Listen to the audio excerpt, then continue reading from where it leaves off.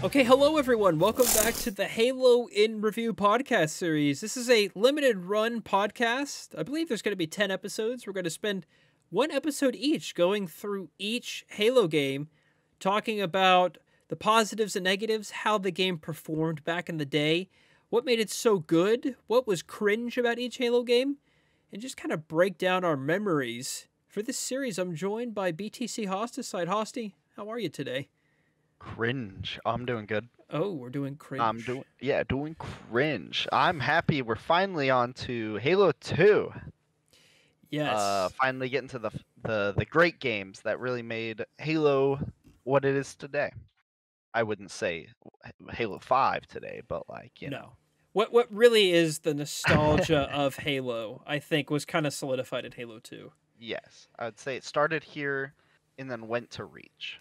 Right. I'd say those were the those were the big days. I agree. I agree. So, so uh, Halo 2, also Halo 2 Anniversary. The game was originally re- released on uh, November 19th, 2004, on the original Xbox. Then re released May 8th on 2007 for PC. November 11th, 2014, for the Xbox One. For uh, that was for anniversary. Mm hmm And then May 6th, 2020, on Steam for uh, MCC on PC.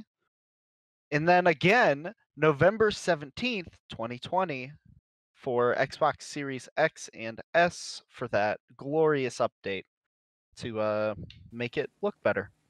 Right. And, you know, we're going to see a lot of release dates for these Halo games, but I, I didn't realize that Halo 2 launched on Vista the same year as Halo 3 on console. Yes. Yep, I owned uh I owned Halo 2 Vista. So, it was uh an experience to I'm say su- the least. I'm sure it was. Well, Windows Vista in general was, so I guess, you know. Windows Vista's cringe. It's uh going into it's like has its own permanent place in the cringe compilation. So It, it does. And it's kind of like the yin and the yang with Windows operating systems. Like one is really good and then the next one is refined. Or I'm sorry, then they try to add all these new features and it's horrible. And Yeah, then the next you- one's good. you go from like Windows Vista, then you go to the glorious Windows 7, and then you go to the cringe Windows 8, and now we have the Chad Windows 10. So Now, does that mean Windows 11 is going to be horrible? probably. Which is sad. I really like that UI that they showed off. Yeah. We'll see. It's uh it's been a while since there's been a new Windows. Time, so- time will tell. Evidently, no PC on planet Earth can even run it. When you if you run that um, there so there's like this tool that you can download that'll tell you if your PC can even run Windows 11. And Oh in in typical Microsoft fashion, it it- it has a bug to where um if something on your BIOS isn't turned on, it'll automatically say that you can't run it. And so Oh, like man. apparently it's something like everyone except like the hardcore gamers that flip this on on their BIOS. It says like 99% of like all PCs cannot run Windows 11, which is that's amazing. which is false, of course, but it's hilarious. It's the most Microsoft thing ever. Yeah, it's like everything else they make for PC. That's right. Yep. Uh, so Halo Two was de- developed by Bungie, Mhm. and uh, it had some pretty good reviews. Excellent I would reviews. say excellent reviews. You know, critical reception uh, was very positive. I would say overwhelmingly positive, considering some of the fun facts we're going to get into. Uh, IGN rated it a 9.8. GameSpot rated it a 9.4. They probably had problems with the campaign. Uh, Metacritic, 95 out of 100. I agree with all of that. Okay. I, I think this is I think it's pretty easy to agree with what the critics said. Yeah. I would I would rate it like a 96 out of 100 if that was me. Like put it right in the center, but Yeah. I had some very minor problems with the game, otherwise it was a fantastic game. I Why think we, uh, I think Halo 2 is there's just something special about Halo 2 where I I Mm-hmm. universally love every aspect of this game to where I don't know if it's my favorite Halo game. Uh, maybe overall as a as a package of all features and the way you interact Yeah. with the game, I, it may be my favorite in that aspect. But I really like uh, the lore. We'll get onto this eventually. Let- Yeah. let's just move on to the fun facts. absolutely.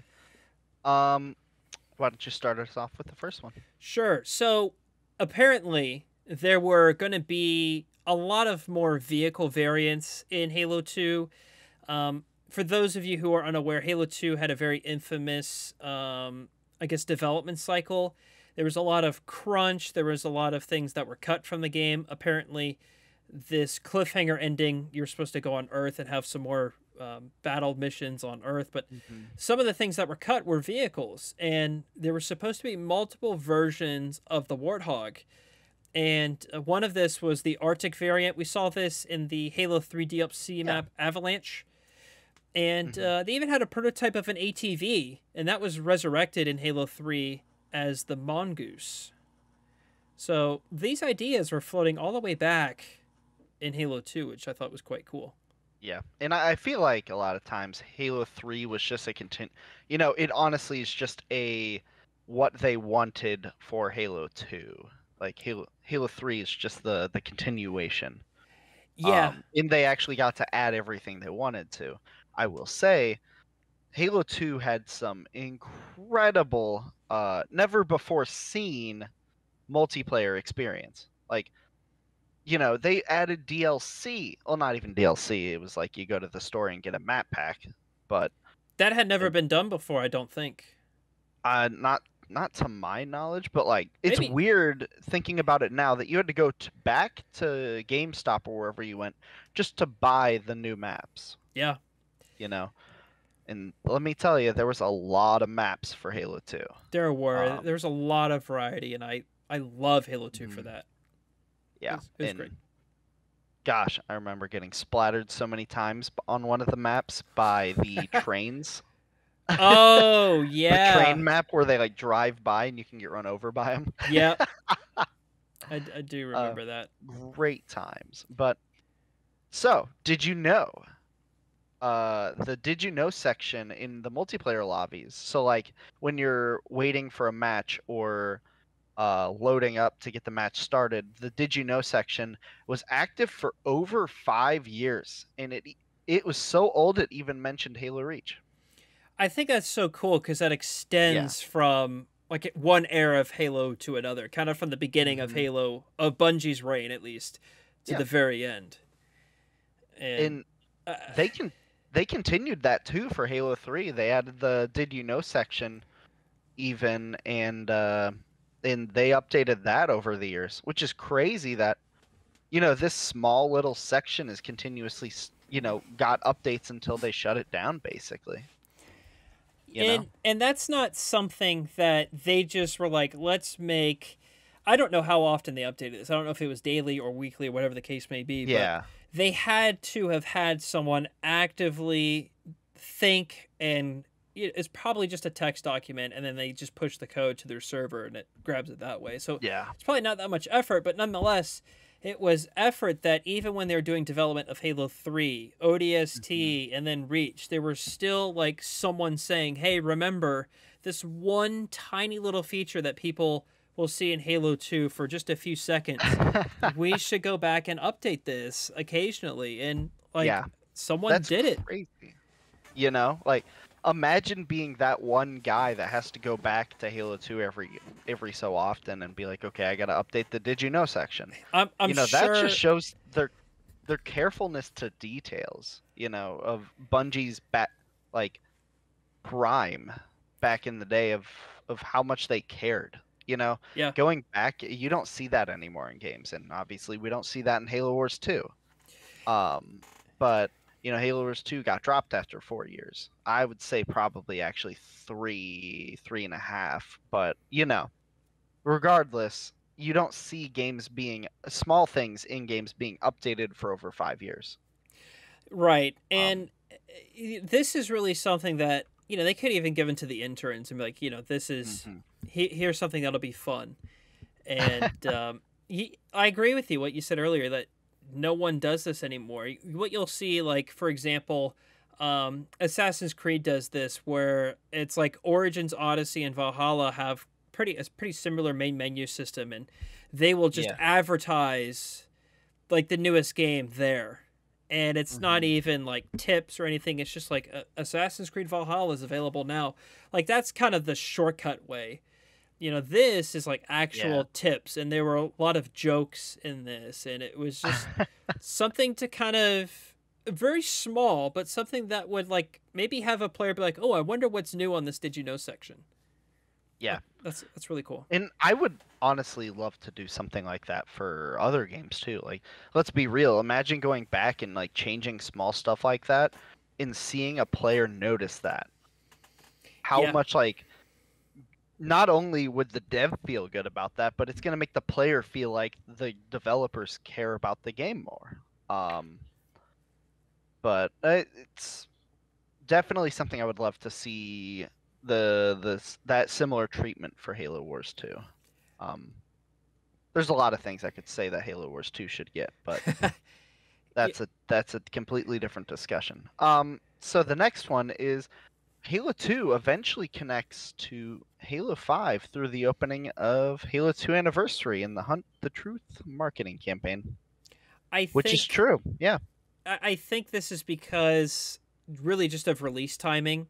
Yeah. I, I, I honestly, this is pretty much just a coincidence of timing. If because there, it was really rumored at this time that we were getting just Halo Two anniversary for the ten year mark of Mhm. Halo Two in 2014. It ended up being Halo Two anniversary and much more, which we come to know as Master Chief Collection.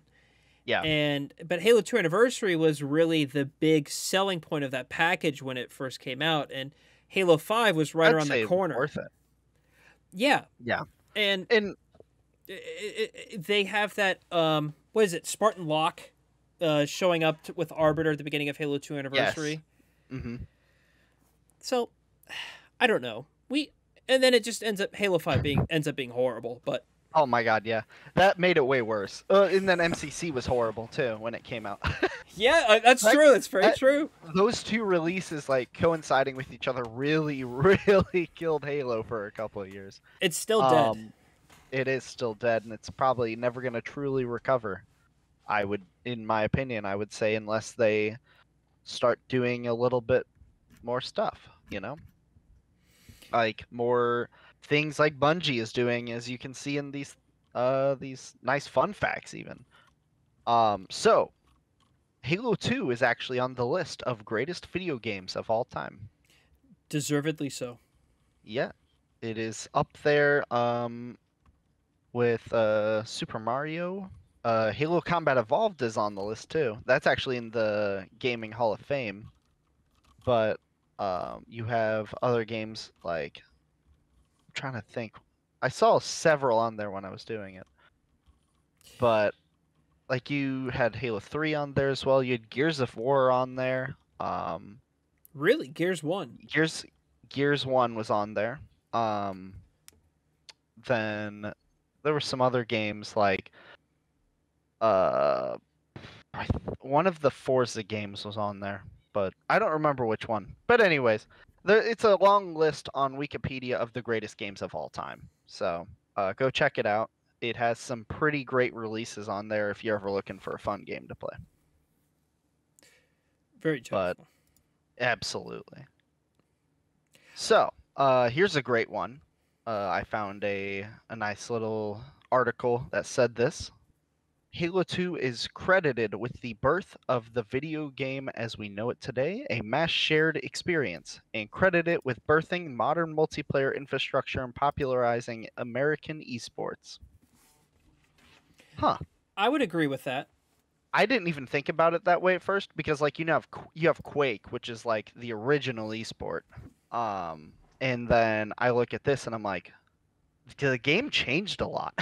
you know, gaming changed a lot when Halo 2 came out because um you had MLG tournaments which were popularized like they even showed up on ESPN at some points. Um which I thought was crazy like uh you had uh, Chris Puckett's top 10. Those were always good. Um, and I I completely agree with it popularizing American esports because before you know it would probably be like what StarCraft and uh, you'd have CS CS:GO was out at this time, right? Yeah, It was probably Source. it was just probably yeah Counter Strike at that time. There was really nothing before Halo 2 that you know, people would like take work off for it. And it was like a cultural yeah. movement where, you know, there would be pictures of people celebrating buying it in the stores. Mm-hmm. Uh, honestly, I don't think we really see any of that anymore at all because of the movement to digital. But I mean, Halo mm-hmm. Two was had this huge launch. I remember it was on like world oh news programs. Gosh, yeah. And, and cable cable news was showcasing Halo Two, and because no one knew how successful this would be when Halo One came out. It was the first time we were all experiencing this mm-hmm. medium together, and Halo Two was like you know, building everything up of the hype of this game, and it, it delivered, which is very rare these yeah. days. That's like uh that would be a similar experience would be if cyberpunk delivered on launch that's know? right yeah that I, would have been insanity if it did that's actually a great you know comparison yeah. like what if cyberpunk met the hype you know would would that be as memorable in gamers minds as the launch of halo 2 yeah, I would say a similar launch to Halo 2 would probably be Skyrim. Yeah. Um, you know, it's a game that you still see today, and Halo 2 is still seen today in, you know, media. It's still found in like old TV shows. It's still found in, um, there's like still billboards out for it. People are making memorabilia. Um, there's, you know, it, Halo 2 was an iconic game. And then Halo 3 kind of stole the show when it came out.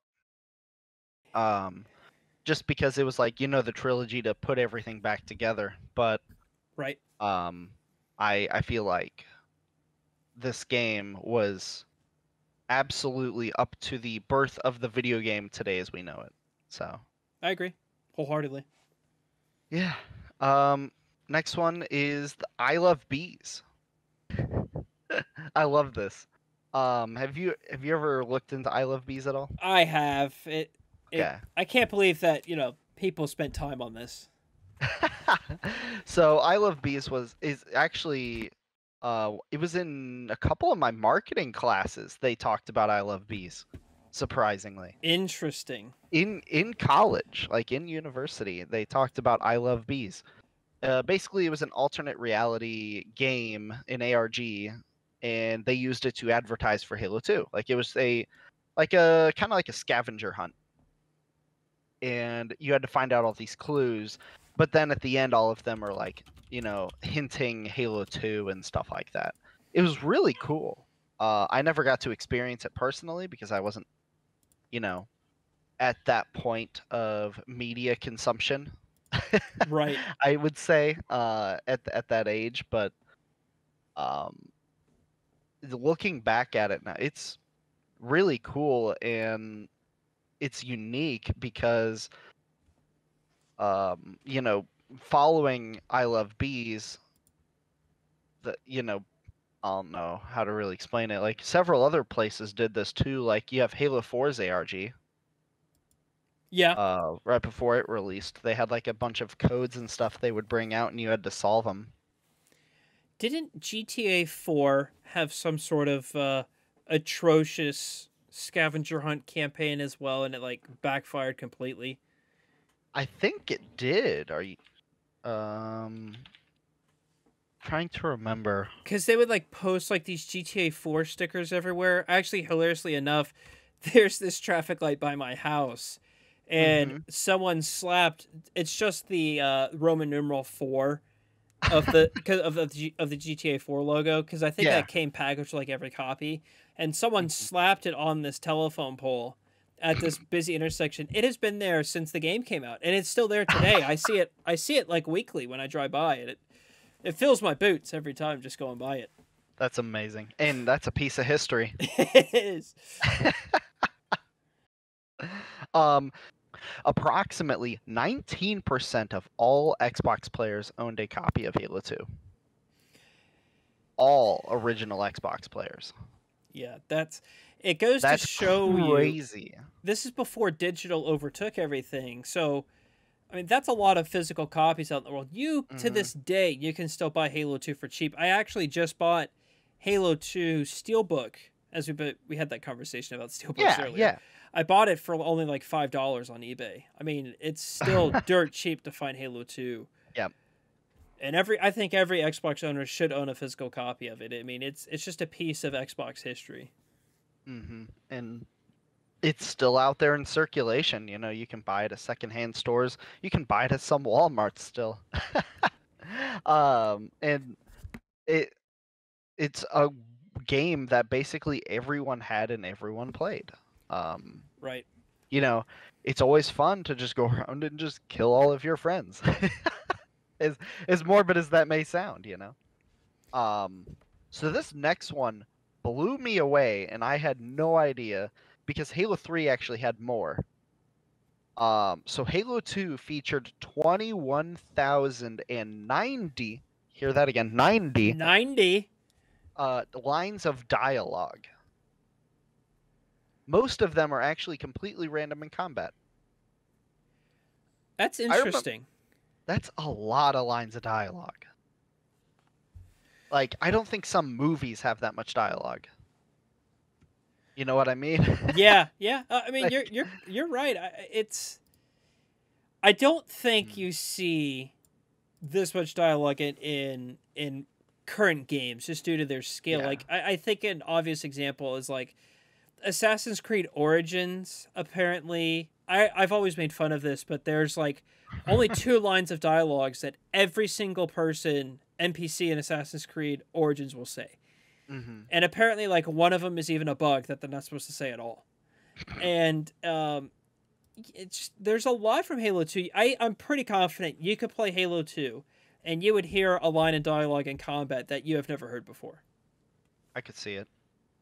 It's uh, it's like how in Skyrim, you know, like you were talking about with Assassin's Creed, how Skyrim when you walk up to a person and all you hear is "need something," yeah need something. you know.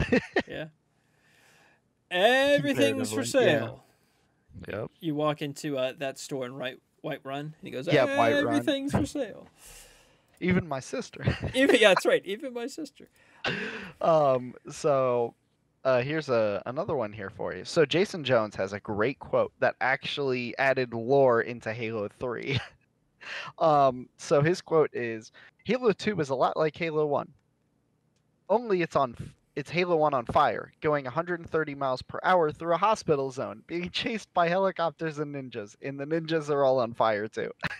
That's great. So this actually led to um the flaming helmets. Oh interesting. I did not know that. That's why Bungie employees had the flaming helmets for so long. that's great. Oh yeah. Uh, and it led to a lot of like other jokes in T-shirts and memes, and as well like you know the Halo Reach uh, headhunter skulls being on fire. Um, that's why like skulls being on fire kind of like became a thing, is because of this fantastic quote here. I see. I never knew that. Yeah, he said that during one of his documentaries, I think, like one of the vidocs. So, and since then, it's just been a meme. That's amazing.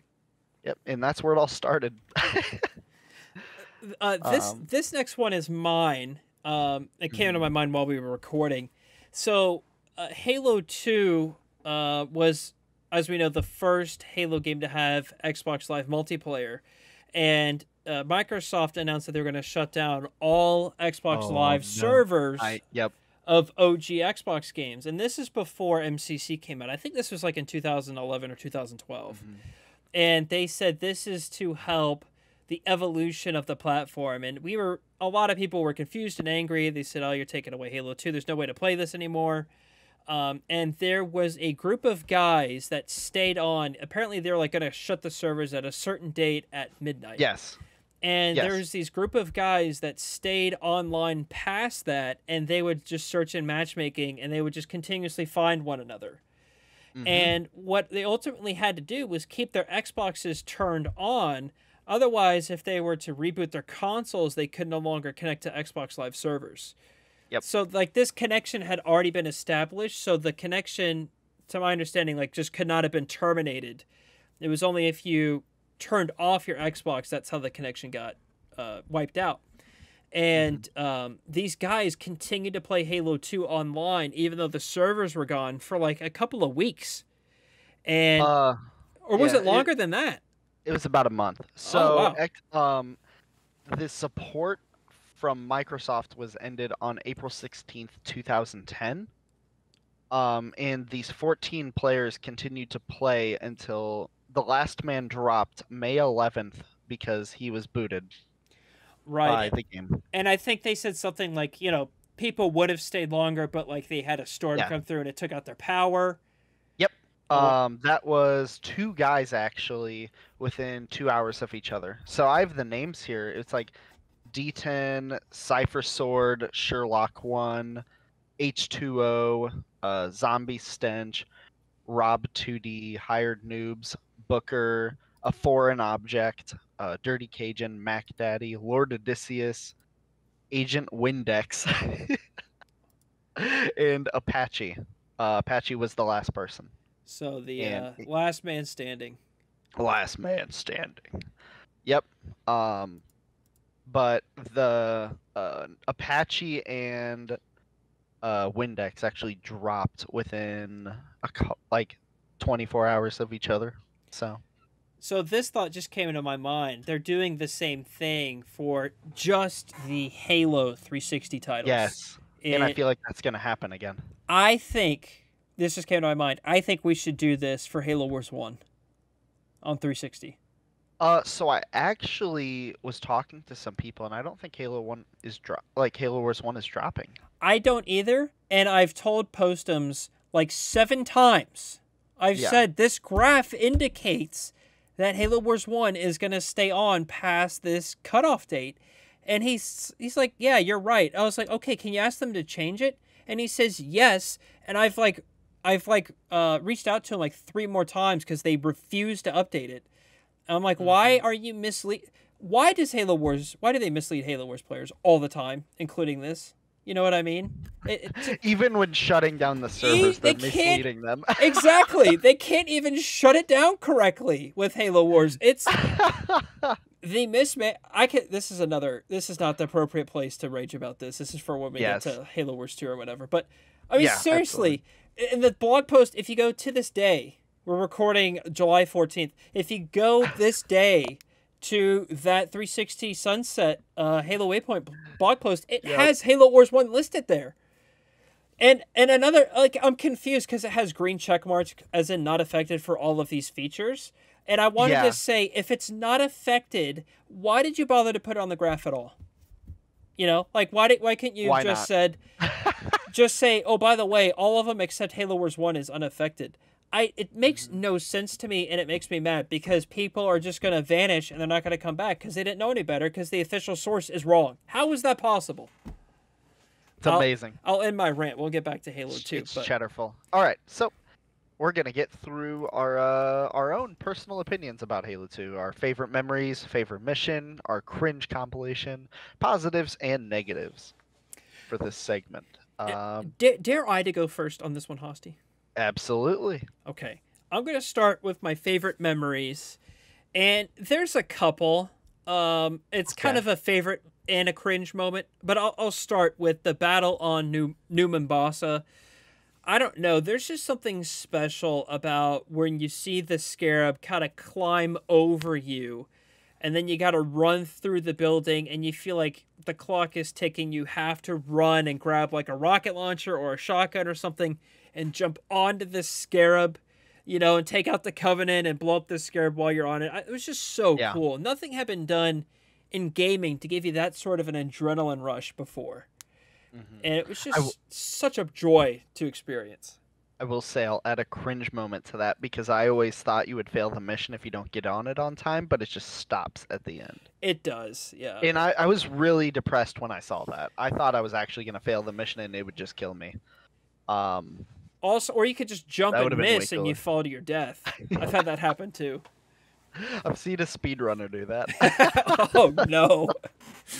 so, um, that's that's fair. That's I, that's a really crazy part of the game too, because it's like when you go back and watch that with the blur cutscenes, that's just amazing. It is. It's Yeah. fa- it's fantastic. It. I think that's Halo Two has a lot of high points on the campaign, a lot of memorable points, and I think that's definitely one of them. Yeah. Um, uh, another favorite memory of mine is I think everyone has this is just doing custom games with your friends, and um, we we had, you know, when you're a kid, someone can say, "Oh, the game can do this." You're like, "Oh, really?" And let's try it. And then, so what happened was is we were playing like four player split screen on, or maybe it was just two player split screen on Halo Two, and someone came up and said, "You know." We were playing on um, Lockout, and they said, you know, if you move the fusion coils up to the center and then you shoot at it with turrets and grenades and all these other things, the map will blow up. And we're like, really? and so I'm not kidding you. We spent like three and a half hours pushing fusion coils, and we had like uh like Oh infinite grenades, and we were just tossing stuff. Everybody had rocket launchers, and uh, obviously nothing happened. And you got uh, bamboozled. we did. So th- Yeah. I mean, that was a that's a fond memory, but it's also cringe. That's very cringe. Not What gonna lie. What about you? What's your That's- favorite memory? Gosh, uh, I would say my favorite memory is probably being able to go and watch tournaments on live TV. Oh, like on G four or something? Yeah, yeah, I forgot what it was. It was either like G4 or ESPN, because I know you can watch Halo 3 on ESPN, but um, I I don't remember exactly what platform it was on. But the fact that I could turn on my TV and turn to a channel on cable because we don't use cable anymore, you know, that's, Right. That's too old school now. But Only boomers use cable. basically. um, and you could go and watch these tournaments. I thought that was like groundbreaking for video games, you know? That I would not have ever imagined in my lifetime being able to see esports where they are now too. You know? right, right. like how they're just as hyped as real sports. I would say esports are their own league of sports at this point. hey, Halo Rocket has League, uh, like Rocket League was a sideshow at the Olympics. was it really? You know? Mm-hmm. Yeah, during the Olympics, there was a tournament going on right outside, and it was a sideshow. Wow. Yeah. So, um, I I would say seeing that was definitely my favorite memory of Halo 2. I mean, that's totally fair. I, I, I think Halo has solidified so many aspects of gaming that I think we just assume is normal now. Like Yeah. esports is really become more main. It, it's- it's it's pretty mainstream, I'd say right now. It's it's pretty casual, I think, for people to be involved in some form of of esports. doesn't necessarily have to be like world championship tournaments, but hmm I think Twitch has helped a lot with that. Oh my gosh, yeah. community run tournaments, all these sorts of things. Everyone's involved in some sort of competitive scene of their favorite Mhm. game. I, I feel like on- on some level, I would say the pandemic even helped it. You know, probably. people are at home always and they need something to do. Why not just pick up a video game because you've never played one before? You know, Right. or like, um, that sounds interesting. I want to play this game, and then you have all this extra time if you're unemployed, and it's like, oh, just go pro. You know, or something crazy like that. It's awesome, honestly, that a lot more people have picked up gaming during the pandemic, and um, seeing that now versus the stigma behind playing video games back in the early 2000s. You know? Yeah, uh, it's. I actually get comments on a regular basis of people that are saying that, um, 'cause I made a few MCC videos here and there, and people have said that they are playing Halo for the very first time because Master Chief Collection is available on Steam. It's it's a platform that has unlocked a new audience to discover this for the very first time, and I think it's great that a game that is really se- almost 17 years old, um, and it got remastered. Uh, people are discovering for the first time and falling in love with this franchise, and it, it's, it's great. Yeah. It is. Um, I would say, you know, people. And Halo is being very, very inclusive now too, with like Infinite. Yeah. Um, and even MCC, where MCC is now crossplay. Um, I would say that more people could play Halo now than ever. Now, necessarily not the, you know that's not coinciding with the population of the game, but Yeah.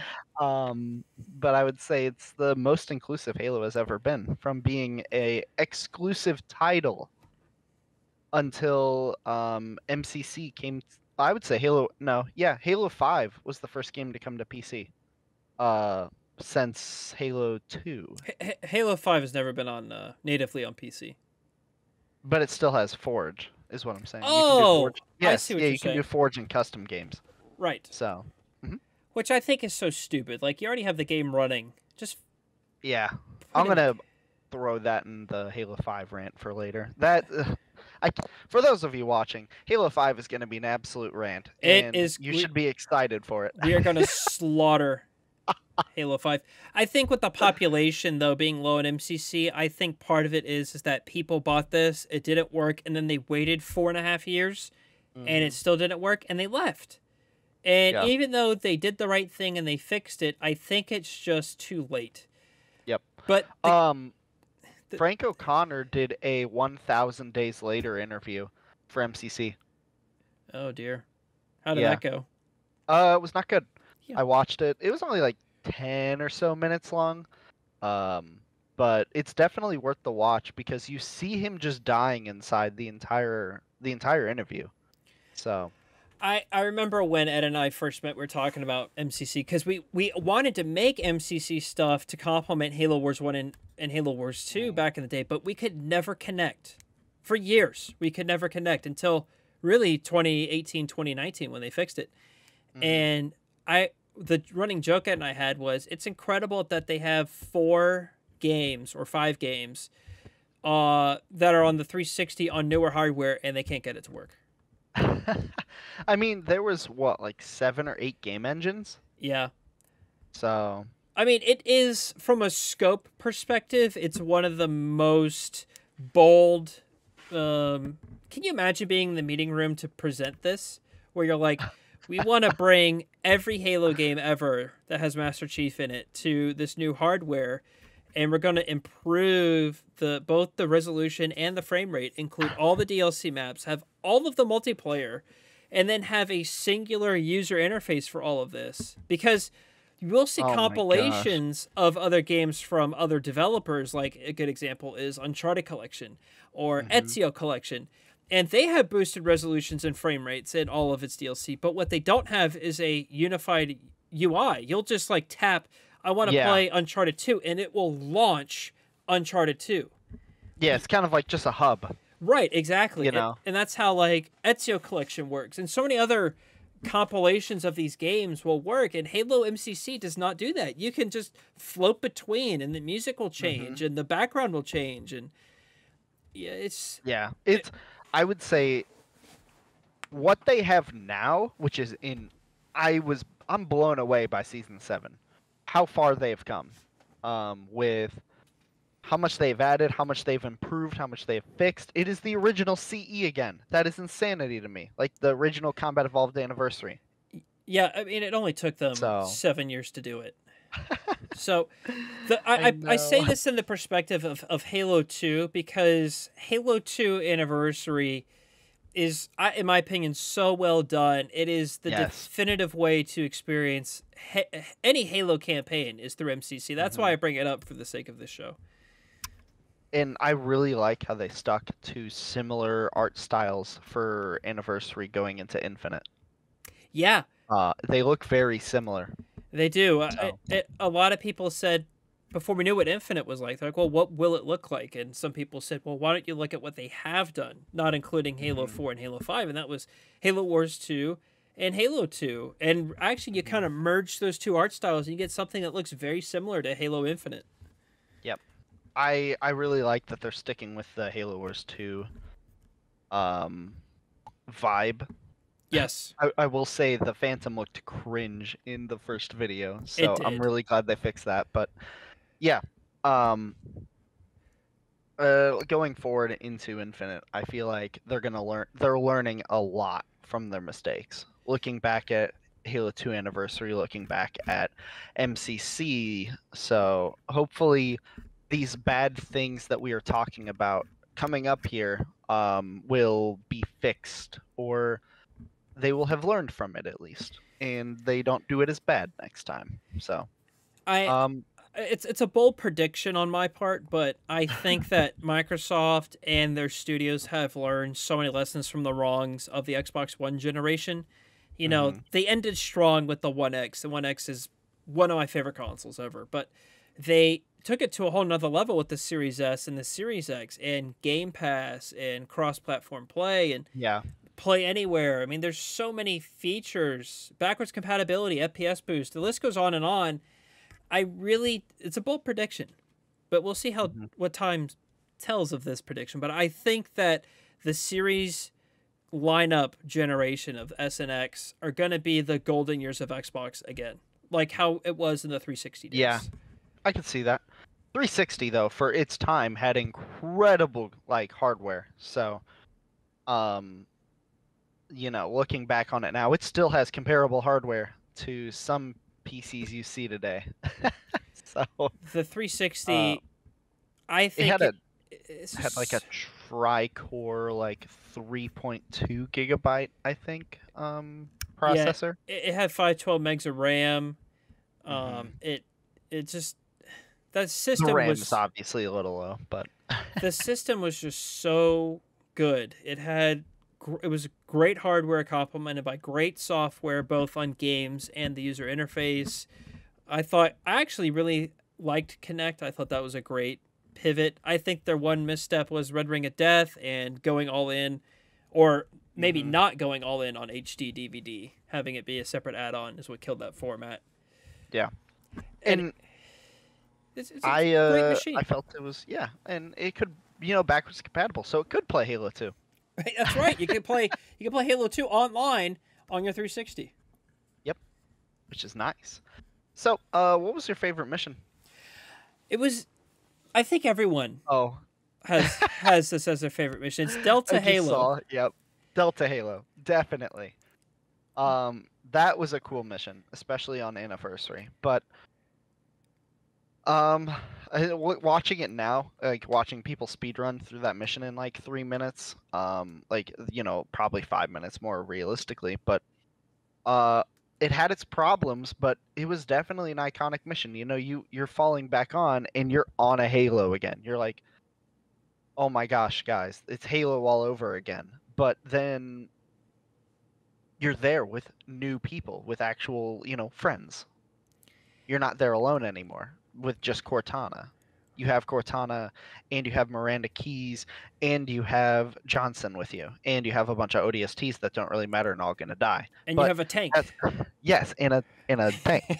So it's you ever seen that that uh famous tweet where it's like guy at second rodeo says this ain't my first rodeo yes. yeah. it's that's kind of like the feeling you get when you're on delta halo Yeah. Because, you know, it's like um, experiencing the flood for the first time and then going back and playing co op and playing co op when they've never seen the flood before. right And you have. It's kind of the same feeling. Uh, delta halo has a fantastic remastered cutscene in anniversary Oh my gosh, yes. fabulous.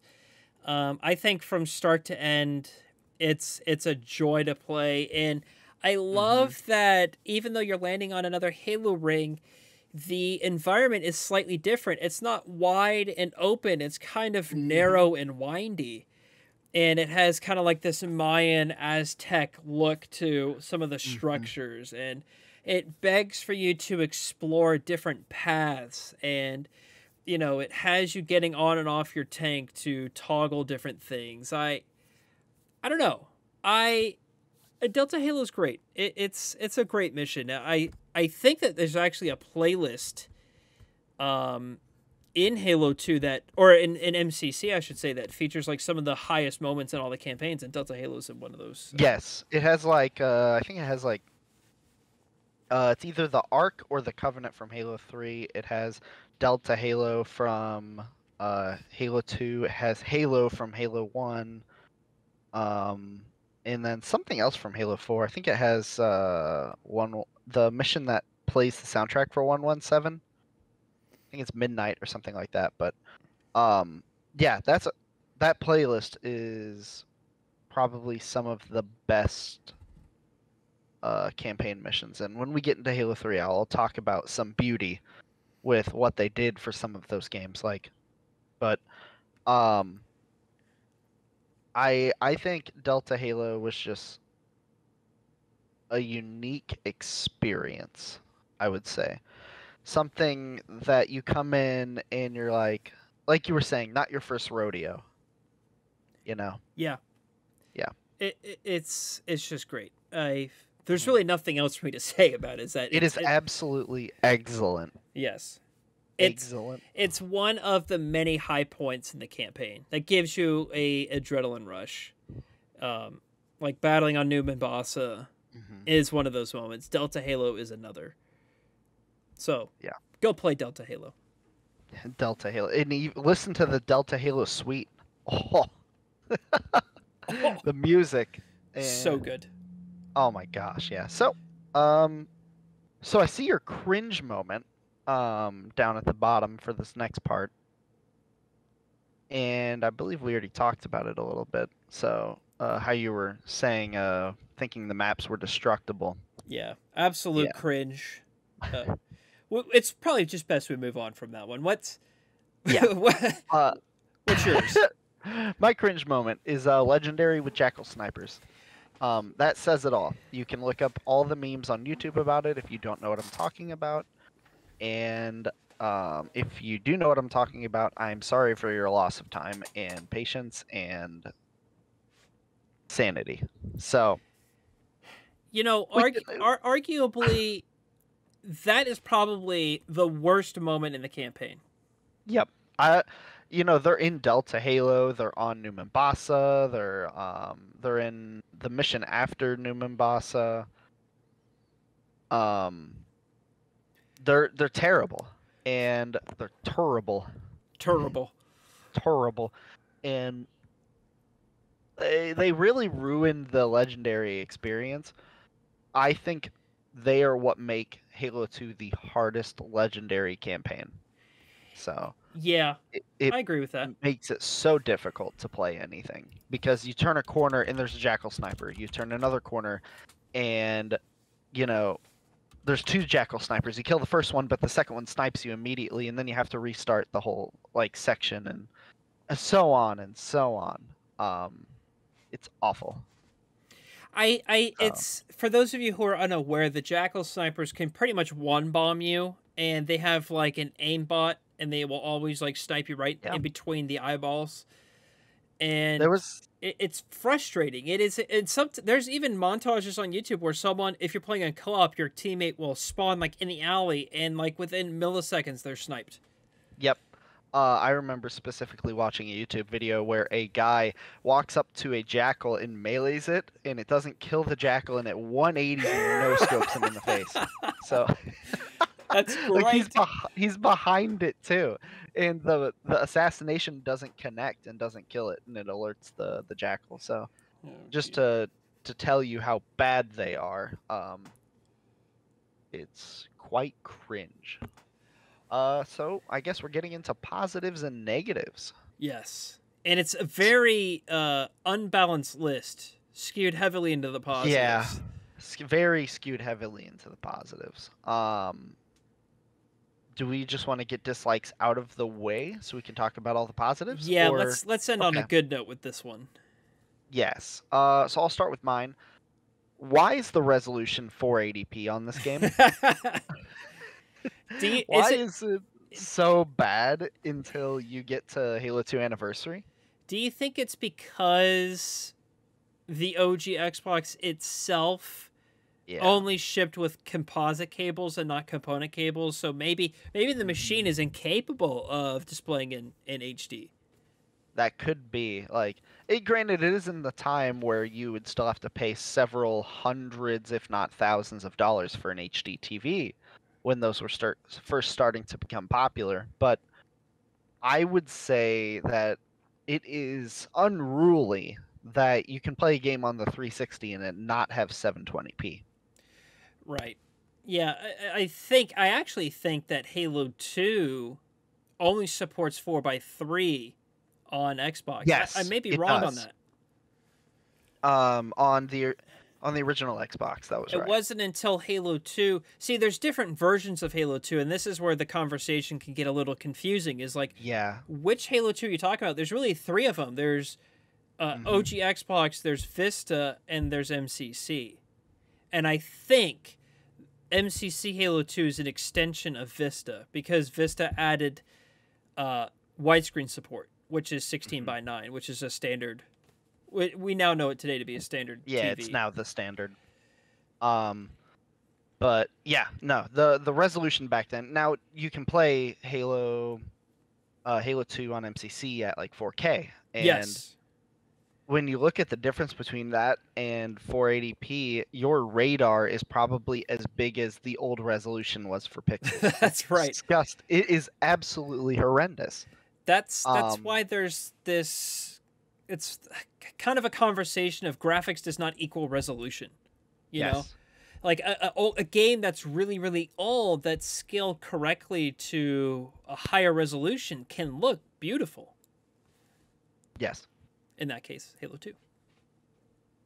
Um, so my next one is uh the vehicles are very clunky compared to Halo 1. Mm. Um by that I mean if you know you're driving a warthog, it feels like you're kind of floating. Um unlike in Halo 2 where I mean in Halo 2 you did float a little bit, but the vehicles felt like they reacted a bit better, I would say. I don't know. The Halo 2 vehicles felt like sandpaper compared to all of the others. Yeah. Um, Eh, They're they're very weak vehicles. Um, Ghost, I think, are incredibly weak. mhm. But uh, Halo One had invincible vehicles. Yes. So and this is really their first step into this area of the game. So mhm. they couldn't knock it out of the park, I guess, on the first shot. Yeah, and as well when you're driving like some of the warthogs especially on the bridge this is noticeable in new mombasa the vehicles like bump up and down Yeah, yeah, they do. like yeah yeah they bump up and down when you're driving them like they're shaking like this vehicle has a bad transmission mount or something like that and just shakes up and down constantly it, it was um, it was cool that parts of the vehicle would like kind of fall off. yes But And- but I, I agree. The vehicles are. They feel like they don't have a lot of hit points. You know, they're, Yeah, they're almost like toys. Mm-hmm. and you see that again with like halo 5 ones too so Yeah, Halo 5's horrible. So the final one that I had was that there was no assault rifle. They only had the SMG. So you're you're actually a fan of the assault rifle. I would say so. Yeah, I do not like the Halo One assault rifle. Uh, it just fe- seems like a bullet hose that does no damage. Mm-hmm. But the Halo Three, Halo Four, and the Halo Two Anniversary assault rifles were probably my favorite ones. Uh, Halo Three not so much because it was just kind of like a pea shooter, but uh, the Halo 2 Anniversary Assault Rifle is definitely my favorite, and it's actually in most cases considered a power weapon because of its time to kill versus the battle rifle. Right. I I agree with you. I I actually I actually do not like the assault rifle at all. The only game I think I really connected with the assault rifle is either Halo 2 Anniversary multiplayer and Halo 4 multiplayer. Yeah, And because in Halo 4 multiplayer there were so many times where someone would like be running towards you with a battle rifle and they're like, "Oh, I'm going to like you know, four shot this kid or whatever the case may be. I just pull out an assault rifle and my time to kill is faster or shorter, Yeah. whatever the terminology is, and I eliminate you first. And I remember a lot of people were confused about that, but I, I in my mind, that's how it should be. Yes, close the- range assault rifle should be battle rifle. Yep. In for the most part it does, which is nice, except for in small cases in Halo 1 and 3. Um, or I should compare in Halo 1 to the Magnum. So, you know, you could get you could like basically four shot people with it. But um so that's my dislikes. Very small list. Um I you know at the time I had a very newfound respect for the game and um coming back to it even I love it even more. Um, like I liked it so much that uh, breaking the clutch, we actually did a four v four tournament during the pandemic. So Oh, awesome! yeah, I didn't know that. we played in the uh, the MCC Pro Series for a little bit. So that was fun. I loved it. I don't like how there's only three maps in multiplayer though. for uh For anniversary. for- yeah, for anniversary ranked, all of the rest are just uh forge maps. There's Right. only three real maps. Yeah. Yeah. That makes sense. What do Uh, you not like about Halo 2? I, there's not a lot actually. I actually had to really dig deep to find things I didn't like. and you got to Okay. take this first point within the perspective of those who played the game when it came out. And Mhm. that's the cliffhanger ending. The game was supposed to have a different ending than what we got, but due to timing constraints and development, they had to cut a section of the game out. Uh, I've Mhm. heard anywhere between a fourth to a third of the game was completely cut for a campaign. Um, so with the cliffhanger ending, I'm sure I can spoil it by now. It's been 17 years. you're you're jumping out of a ship to land back on Earth, and you just he says, "Sir, finishing this fight," and like that's it. And Mhm. you know it's hey, that's iconic though. it's it's totally iconic. It's a you know it's one of the most popular lines in all of Halo. It's kind of like you're sitting, you're like, oh no, like you know what happens next? I gotta wait three more years to see what happens. and if Yep. If you're playing Master Chief Collection today for the first time, it's not that big of a deal because the first mission of Halo 3 is really the last mission of Halo 2. It picks up right where it left off, which Mhm. is what I love about the beginning of Halo 3's campaign. Yeah. Um, It just it just is all gas at the beginning of Halo 3. So, you know, if- for those of you that had to wait for the cliffhanger ending at Halo 2, I I feel you. I think that the, that dislike is really invalid today, but in 2004 when the game came out, I think it's a valid point. Um, so I got something to add here. Imagine if they moved that cliffhanger. We would see a very different Halo 3 today. Yeah. I feel like we wouldn't have as good of a Halo 3 if they moved that cliffhanger. Um, the reason I say that is because imagine, you know, they get to Earth and then Chief lands on the planet. Like they do a mission inside the Dreadnought or something, and you have to jump out of the Dreadnought and then hit Earth. Imagine if they left it off at Sierra 117. like you re- like you rescue Johnson and like you're going into the um into No, no, the- no, no. Like when he hits the ground. Oh, oh, oh, oh, oh, I see. so just like So- 60 seconds longer in that cutscene. Yeah, but they add like a mission inside the Dreadnought during that time. I see what you're saying. Yeah. yeah, like that'd be kind of cool, you know. And then you have to wait for three years to know if Master Chief's actually alive or not. And then the advertising campaign would have been completely different. That's right. That's right. It's like, where's the chief? You know, that would be it would be more along that line. I guess that's but- a good counterpoint because so much of the marketing for Halo 3 was finishing the fight. Mm-hmm.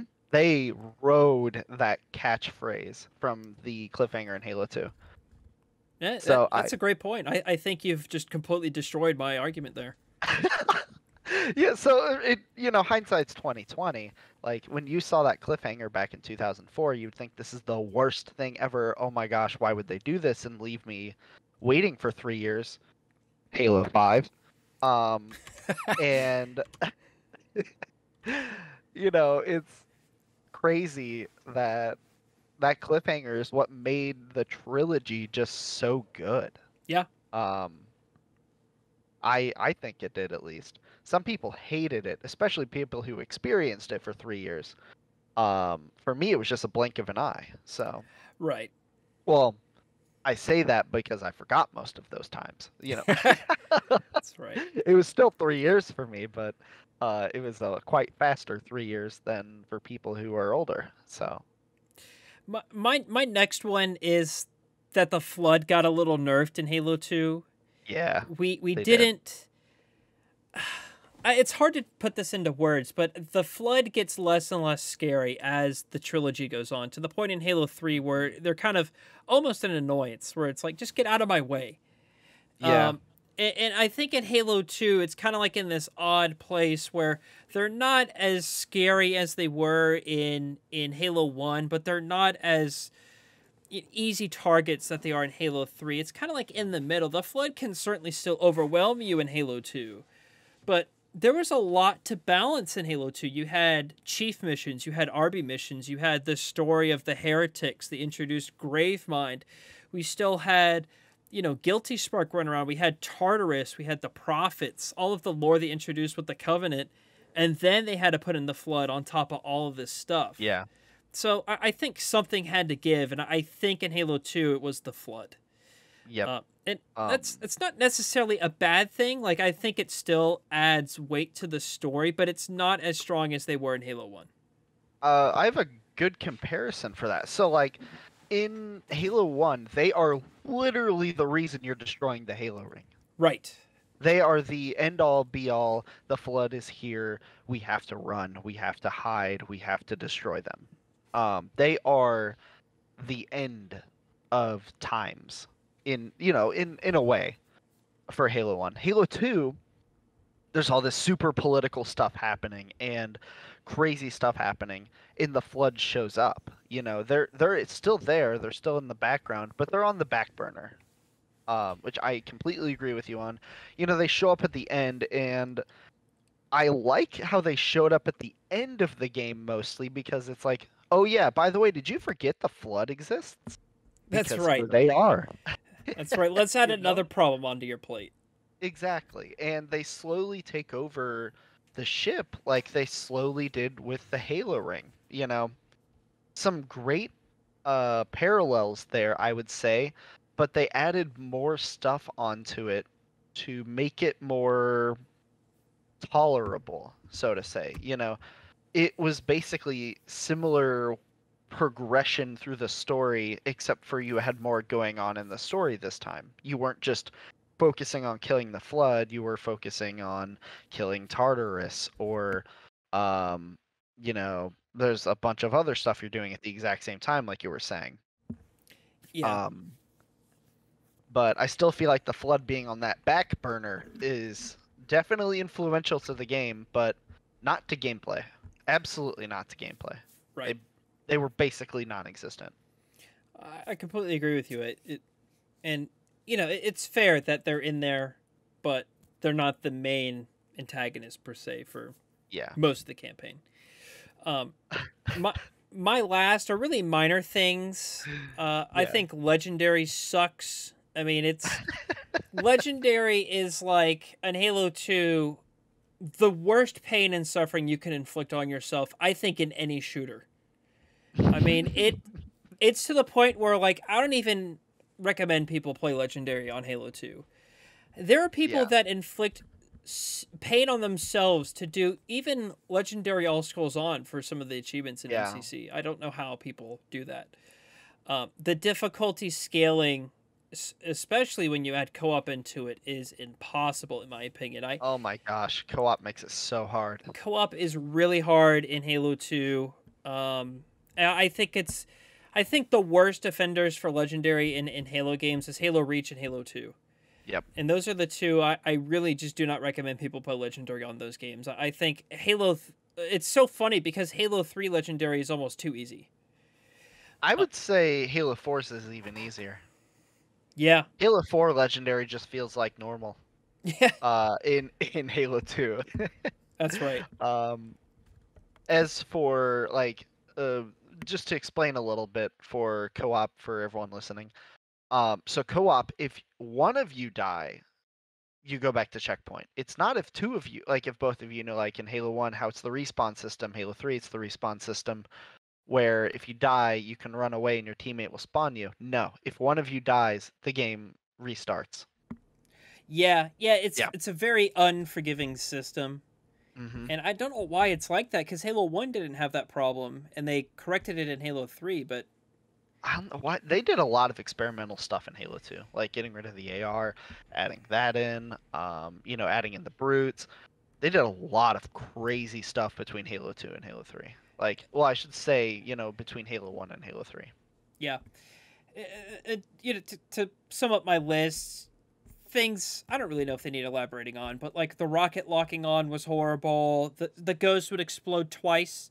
Um, yeah. it- you had to listen for it, and the AI was completely stupid on the UNSC side in Halo Two.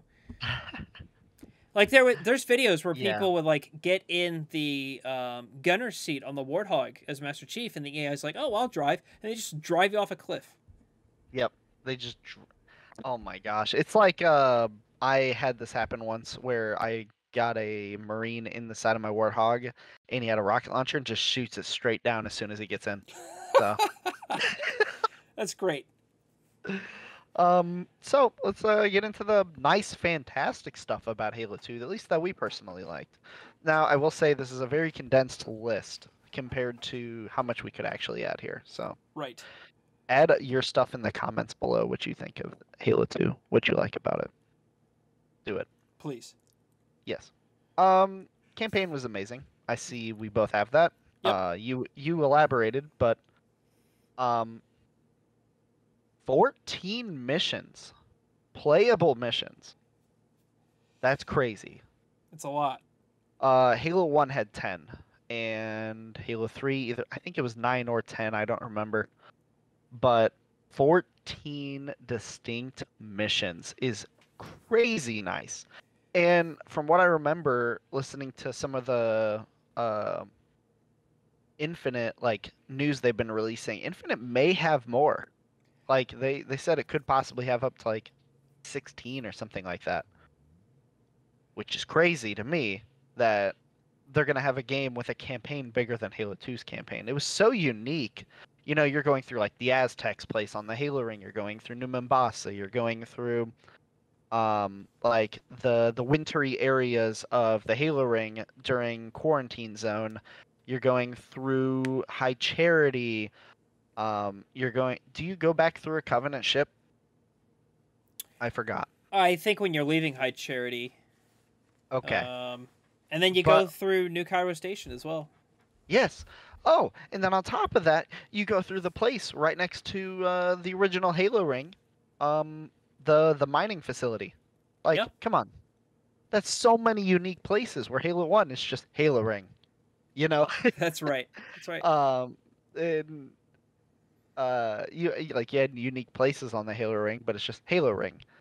Um, and Halo Halo Three followed up with this as well, like this uniqueness to all of the the scenery, which I think is something Halo extremely excels at and does well with their campaigns of having unique scenery in sandboxes and skyboxes um, that just make it feel like a immersive game. they they really tried to dial up the differentiating identifiers in in these maps. Both both campaign and in multiplayer you know like you you knew that you were physically in a different location on these missions. They made the environments distinct. And i love that. Um, I would say like like you were saying in your positives that Johnson became a main character, which was oh my gosh, he is such a good um such a good character, and I'm really sad to see him go at the end of Halo Three. Spoilers, but um, I would say it's uh, it's definitely a campaign worth playing. Um, you know, it's not like some sort of Call of Duty campaign where you get this this cool like Michael Bay stuff going on. It's a true and true campaign where there is stuff going on, plot twists, uh, mystery, and there's a whole lot to learn and a whole lot to do. It has weight to it and i i like that a Yes. lot um I, I I think one of the ones that stand out the most for me is I think the multiplayer of Halo 2 slaps. I mean, absolutely slaps. Oh my gosh, yeah. Um, I prefer Halo 2 multiplayer over Halo 3. Not to say Halo 3 multiplayer is bad, I just think it's better. Uh, I think Halo 2 Anniversary multiplayer is a gem, a hidden gem in MCC. A lot of people didn't know that they remastered the multiplayer Mhm. in in MCC. Um, I just I absolutely love the multiplayer of Halo 2. Like you you have a, a point here that there's so many maps in the multiplayer and most of them are fantastic. There's some remasters from Halo One Mm-hmm. In there. It had map packs. I mean, the list goes on and on. Uh, different environments, big big maps, small maps, medium size, classics like Lockout. Um, I mean, there's it's, I can't. There's really nothing wrong with Halo 2's multiplayer, in my opinion. Yeah. Um, in on top of that, uh, one of the other things I was saying about multiplayer is that there's button combos. You know, like the BXR or YY or, uh, you know, YY to make your shotgun shoot faster or your gun shoot faster or there there was a high skill ceiling in multiplayer and a very uh, low skill floor. Anyone could get into Halo multiplayer, but it took a lot to be a pro at it. You know, it took literal hours of sitting in custom games to figure out all these button combos. And there's a basically infinite amount of them. You know, roll the credits, Halo Infinite. That's right. But- That's right. um, and I would say it's probably my favorite going down in. I actually, you know, Halo 3 has a special place in my heart. But um, as for multiplayer online matchmaking, I would say it's probably the best. Um, it was very balanced when it first came out. I would say that not every weapon has its place in the sandbox. Um, some weapons were nerfed really badly, but the BR play and uh, just how the maps flowed is just so different from any other game you'll play. Like it felt like a classic retro game from the 90s early, you know, uh, ev- earlier even. Um, but it but it played like a game you would see even today, like past 2010. Yeah, Um, but I agree. I, I think someone who's um uh, I don't know what the word is. Someone who plays multiplayer currently today in current games like Call of Duty, Halo, Warzone, whatever the case may be, they could pick up Halo 2, Mhm. classic Halo 2 multiplayer, and probably just instantly, you know, start enjoying the sandbox that it offers yeah. because I think that multiplayer was designed so well and it was so ahead of its time. There was nothing in the market in gaming, period, that could match Halo 2's experience online. Um, from gun gunplay to maps to the experience of flowing in in and out of matches. Um, I, you have a point up there about clans. I mean, Yeah. was just nothing like it. in Halo 2 set the standard for this. And really, we a lot of games today have Halo 2 to think of, like how lobbies are designed. you know? Yes. Oh my gosh, the lobby system was groundbreaking for the time. And you see Halo 3 replicate it, you see Halo Reach replicate it. Uh, you don't really see it so much in Halo 4 and 5, but uh, the way the pre-lobby system worked, you can see Call of Duty copying it even.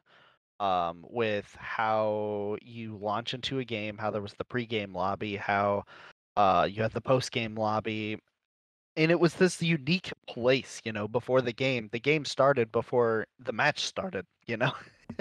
Yeah. Um, it was fantastic.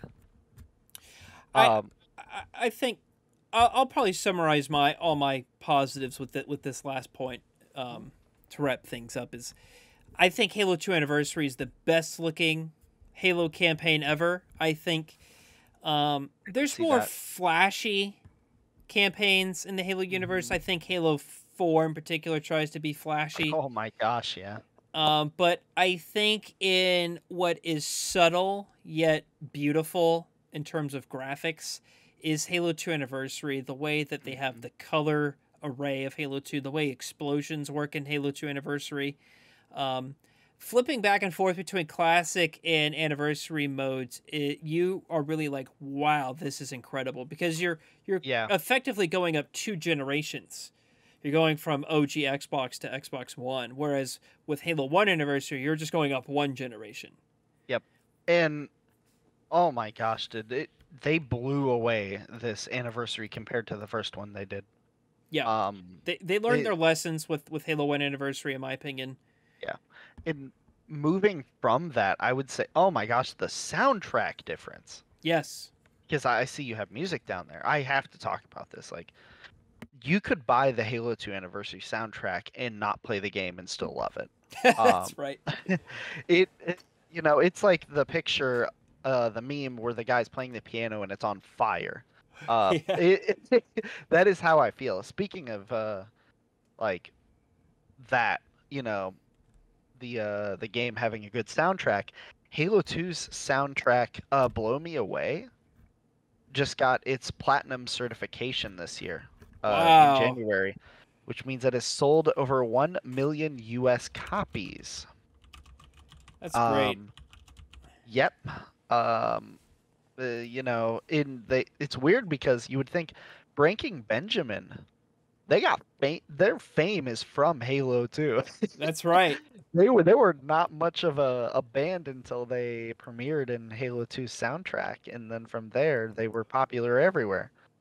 Um, but they, you know, their other soundtracks like Ashes of Eden and Dear Agony got their gold certifications, but they're not even close to this specific song that was played in in Halo 2 at at the end that yeah, the end of Gravemind.